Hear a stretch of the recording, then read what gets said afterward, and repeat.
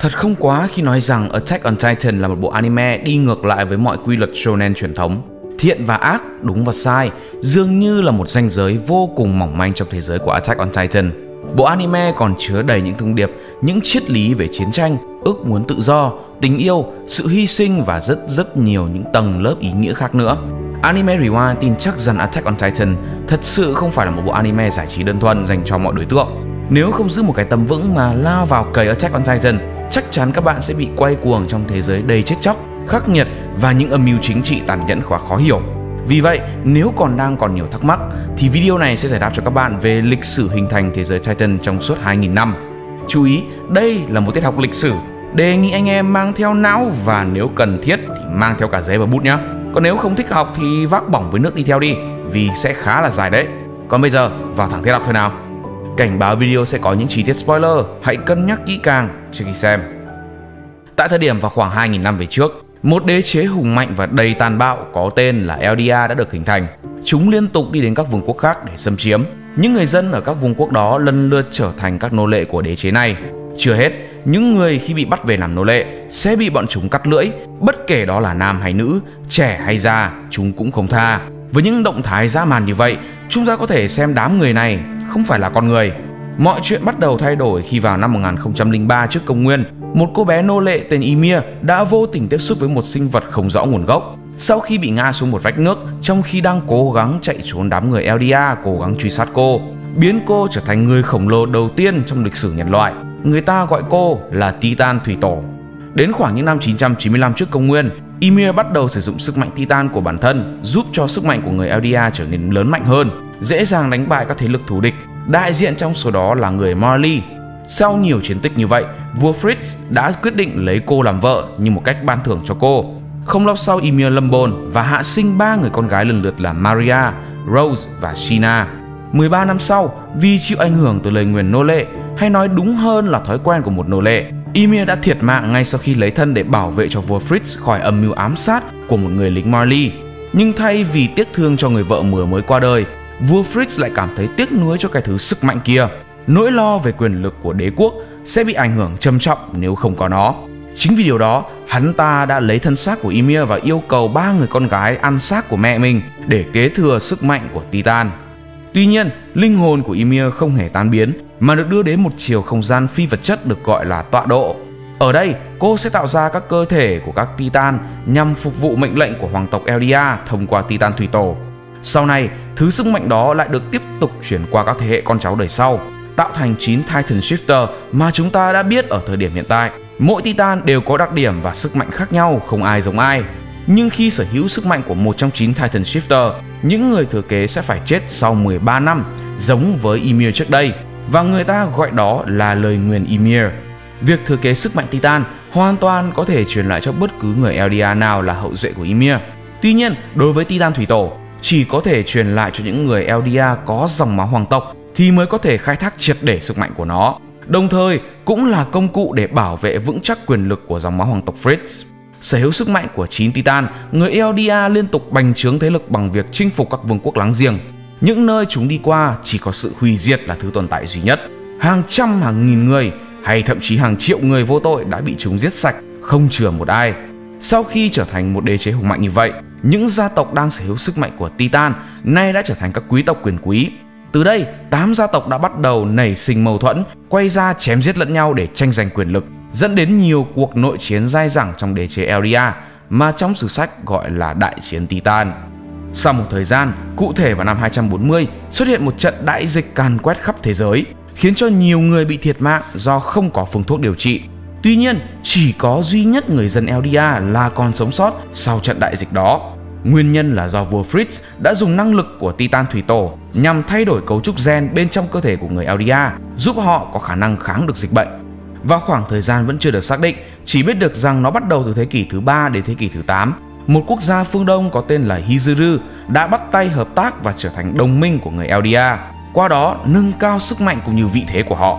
Trước những năm 743, Karl Fritz lên ngôi trở thành vị vua thứ 145 của đế quốc Eldia. Khác với những vị vua trước đây chỉ tập trung vào việc bành trướng sức mạnh để khẳng định vị thế, thì vua Karl đã trở nên quá mệt mỏi với các cuộc chiến vô nghĩa. ông còn cảm thấy vô hổ thẹn vì những tội ác mà thế hệ cha ông đã gây ra cho nhân loại. Để chuộc lại những lỗi lầm đó, vua Karl đã quyết định trao trả toàn bộ đất đai cũng như giải phóng toàn bộ người dân Marley khỏi sự thống trị của đế chế Eria. Đồng thời, cấu kết với gia tộc Tiber, gia tộc đang nắm giữ sức mạnh của Titan búa chiến, dựng nên truyền thuyết về người anh hùng Marley đã đánh bại các Titan giành lại sự tự do cho dân tộc. Còn vua Fritz đem theo hoàng tộc và các con dân của Ymir đến hòn đảo Paradis, một nơi hoàn toàn biệt lập ở ngoài khơi. Một số người dân Hizuru cũng chọn ra đảo cùng với ông. Một vài thành viên trong hoàng tộc lại quyết định chọn ở lại đất liền thay vì ra đảo sống. Nhân cơ hội nhà vua bỏ trốn ra đảo, tám gia tộc Titan tiếp tục gây chiến với nhau và cuộc đại chiến Titan bắt đầu bùng nổ. Người Morley đã lợi dụng những mâu thuẫn nội bộ của người Eldia để đứng lên giành lại độc lập Gia tộc Tiber là gia tộc người Eldia đầu tiên đứng về phía người Marley, giúp họ lật đổ đế chế Eldia. Được gia tộc Tiber và Titan búa chiến giúp đỡ, người Marley đã đánh bại tàn dư của đế chế Eldia và giành quyền kiểm soát 6 Titan là đại hình, nữ hình, thiết giáp, hàm, quái thú và ngựa. Nếu tính thêm cả búa chiến nữa là 7, vì cơ bản gia tộc Tiber đã đứng về phía người Marley, còn Titan tiến công đã biến mất không một vết tích nào. Người Marley nhờ vậy mà dần trở nên lớn mạnh hơn. Trong khoảng thời gian đó, vua Karl Fritz đã sử dụng sức mạnh của Titan thủy tổ tạo ra hàng triệu Titan đại hình và hóa cứng chúng để tạo nên ba bức tường thành trên đảo Paradis và đặt tên theo ba người con gái của Ymir là Maria, Rose và Shina để bảo vệ phần còn lại của Eldia. Sau những năm 743, để bảo vệ cho hòn đảo Paradis, vua Karl đã đưa ra lời đe dọa với người Marley rằng hãy để người dân Eldia được yên ổn, nếu không ông sẽ dùng sức mạnh của Titan thủy tổ khởi động dung chấn gọi hàng triệu titan đại hình bên trong các bức tường ra và sử dụng chúng để phá hủy cả thế giới. Nhưng trên thực tế, vua Karl cho rằng người Eldia phải chịu trách nhiệm cho những tội lỗi mà tổ tiên họ đã gây ra. Vì thế, nếu một ngày nào đó người Marley có đem quân tới Paradis và giết hại người Eldia, thì nhà vua cũng sẽ không phản kháng. Ông cũng đồng thời tẩy não toàn bộ thần dân của mình, khiến họ không còn nhớ gì về quá khứ hay một thời hoàng kim của đế chế Eldia lập ra một lời thề ràng buộc khiến những truyền nhân nắm giữ Titan thủy tổ sau này sẽ không thể sử dụng sức mạnh Titan cho các hoạt động chiến tranh được nữa. Tuy nhiên, những người thuộc nhóm gia tộc Ackerman và nhóm dân tộc thiểu số không phải người Eldia sẽ không chịu ảnh hưởng bởi năng lực của Titan thủy tổ, nên nhà vua buộc phải tìm cách mua chuộc họ. Phần lớn đã đồng ý và được phong hầu cấp tước, trở thành các gia tộc quyền quý trong xã hội Paradis. Chỉ duy nhất gia tộc Ackerman và một số nhóm người khác là phản đối chuyện này do đó họ bị truy sát rất gắt gao. Để dễ bề cai trị và không gây sự chú ý, vua Fritz lập nên một ông vua bù nhìn thay mình ngồi trên ngai vàng, còn bản thân và hoàng tộc thành lập gia tộc Rice dưới danh nghĩa là một dòng họ quý tộc sống tách biệt ở chốn thôn quê.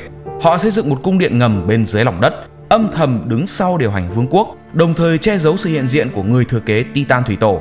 Những người thừa kế sẽ được tiêm huyết thanh Titan để trở thành một Titan vô tri, sau đó được ăn thịt người tiền nhiệm để kế thừa sức mạnh Titan thủy tổ. Còn bên phía người Morley, họ tiếp tục sử dụng sức mạnh Titan để chinh phục và giành quyền kiểm soát phần lớn lục địa. Những người Eldia còn sót lại trên lục địa tuy không bị người Morley tàn sát nhưng cũng bị xếp hạng là những công dân thấp kém và bị dồn vào sống trong một phân khu tập trung được gọi là Liberio. Cũng giống như những người Eldia sống biệt lập trong tường thành ở đảo Paradis, bị vua Fritz tẩy não, những người Eldia và Morley trên lục địa cũng không hề biết được những gì đã xảy ra trong lịch sử. Người Morley được dạy phải thù ghét người Eldia Họ cho rằng người Eldia là lũ ác quỷ. Tổ tiên của người Aldia là Ymir đã giao kèo với quỷ dữ để có được sức mạnh của Titan và khẳng định rằng đảo Paradis chính là địa bàn cuối cùng của quỷ dữ và những kẻ sống ở đó vẫn đang âm mưu tiêu diệt nhân loại. Đối với những người Eldia ở lục địa, họ được dạy rằng tổ tiên của họ là những kẻ tàn ác nên bây giờ họ phải chịu kiếp sống khổ nhục dưới đáy xã hội như một cách để chuộc lại những lỗi lầm của thế hệ trước đây. Đây cũng là cách chính quyền Morley áp dụng để thu hút những thanh thiếu niên Eldia gia nhập quân đội với lời hứa rằng những người lính Eldia ưu tú sau khi nhận được sức mạnh của các Titan và công hiến hết mình sẽ được chính quyền Morley công nhận và có cuộc sống thoải mái hơn. Còn ngược lại, những người Eldia có ý định chống đối, lập ra các tổ chức bí mật gồm những người có âm mưu phục hưng đế chế Eldia. Khi bị bắt, thường không bị xử tử mà sẽ bị lưu đày đến đảo Paradis, bị tiêm huyết thanh và trở thành những Titan vô tri, mãi mãi sống trong lốt quái vật, lang thang trên đảo vừa đẩy được những người LDA có ý định chống đối đi, vừa tạo ra được một lực lượng Titan bao vây bên ngoài tường thành, dùng chính người LDA để giết người LDA. Cũng trong khoảng thời gian này, người Marley thành lập ra hội nghiên cứu Titan. Họ phát hiện ra rằng các thần dân của Ymir được kết nối với nhau thông qua những con đường vô hình và Titan thủy tổ là nơi các con đường giao thoa. họ gọi đó là tọa độ. Đến năm 780, một cô gái vô gia cư người Eldia được giáo chủ của một hội kín tôn thờ Ymir tìm thấy. Người này đã đặt tên cho cô là Ymir và trở thành một biểu tượng được tôn thờ của giáo hội. 5 năm sau đó, cụ thể là vào năm 785, giáo hội tôn thờ Ymir bị cục bộ an ninh người Mali phát hiện. Họ bị đưa đến đảo Paradis, sau đó bị tiêm huyết thanh và trở thành những titan vô tri mãi mãi. Năm 806, Grisha Jaeger được sinh ra tại Liberio. Sau cái chết đầy oan ức của em gái Faye bởi một viên sĩ quan Marley, Grisha đã bắt đầu nảy sinh lòng căm thù với chính quyền. Khi anh lên 18 tuổi và biết rõ sự thật về cái chết của em gái, Grisha gia nhập tổ chức những người muốn phục hưng đế chế Eldia dưới vỏ bọc là một bác sĩ. Anh gặp gỡ Dina Fritz, một cô gái mang huyết thống của hoàng tộc và lấy cô làm vợ.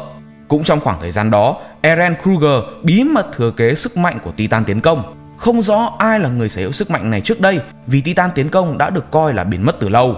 Đến năm 825, Grisha và Dina có với nhau một đứa con trai và đặt tên cho đứa trẻ là Zeke Jaeger.